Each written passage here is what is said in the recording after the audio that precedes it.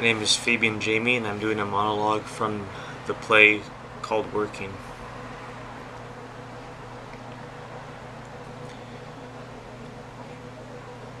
I promised my wife I'd quit the sea.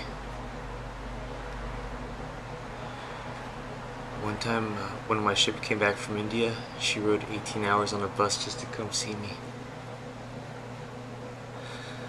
She asked me to give it up because she said she was tired of being alone. I said, just give me one more year because we'd have been saving and we had plans. Well, that run lasted two years. I'm giving my youth to this and I guess I'll go home and give her my old age.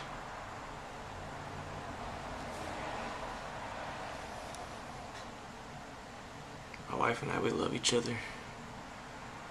Matter of fact, we like each other. Everything we do, we do together. Even at night when I get up to go pee, she gets up and dances with me to the bathroom.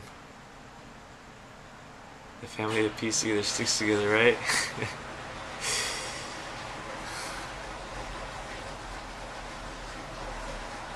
but no matter how much you love your wife, the sea is drawing you. My dream my dream is to buy a schooner and live aboard and charter. That's my wife and I are both planning for. When I get my schooner, that's gonna be tops. That's gonna be it. I'll have both my loves, my wife and my sea. I'd like to die at sea and be buried at sea and spread out at sea.